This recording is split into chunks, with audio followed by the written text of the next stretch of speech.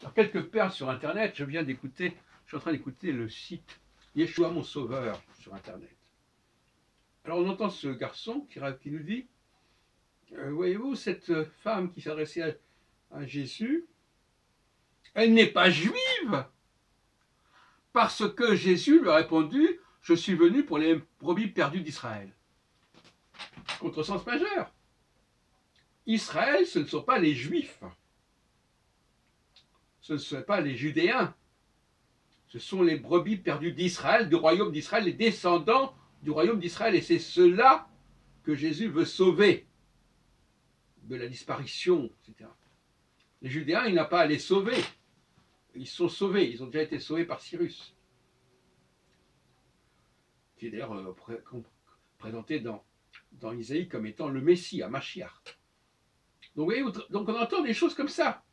Elle n'est pas juive puisqu'il répond que il est venu pour les, les, brebis d'Israël, les brebis perdues d'Israël. Alors on comprend, perdus, alors perdus bien sûr sur les juifs. Alors pourquoi ils sont perdus?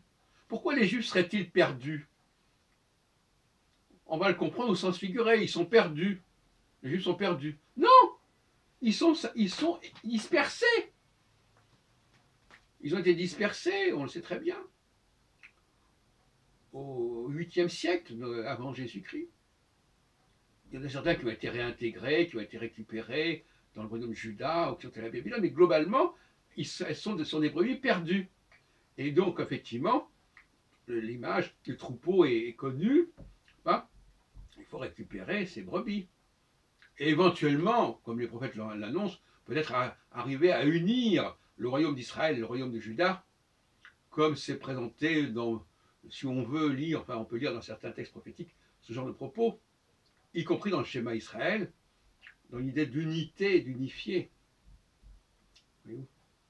Donc ça, c'est vraiment le contresens par exemple qu'il faut éradiquer à tout prix. Israël, ce ne sont pas les juifs.